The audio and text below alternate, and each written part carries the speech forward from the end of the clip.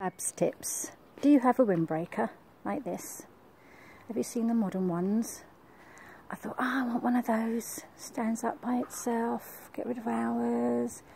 And then I thought, blimey neck, that's a lot of windbreakers going into landfill. All those wooden poles, what a waste.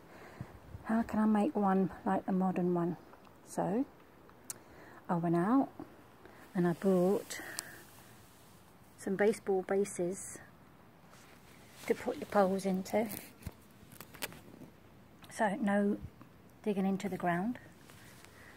I've got four holes in them. Around there. I've only got two pegs in this one.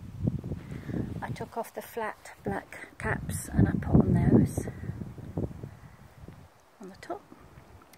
Um, now it's up you can put some nice lights around it to make it look decorative. And to make it even more sturdy I've put these guy ropes on. So that is one guy rope.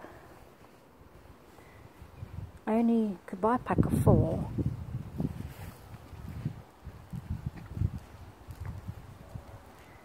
So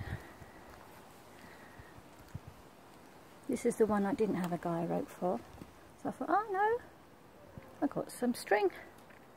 So there's my yellow string, my own guy rope.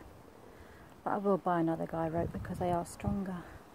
Now it's really, really windy today. Um, this is holding so well.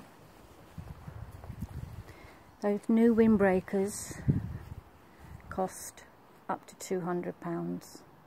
To convert this, it's cost me um, about £40. No brainer really. Revamp your windbreaker. Thank you for looking.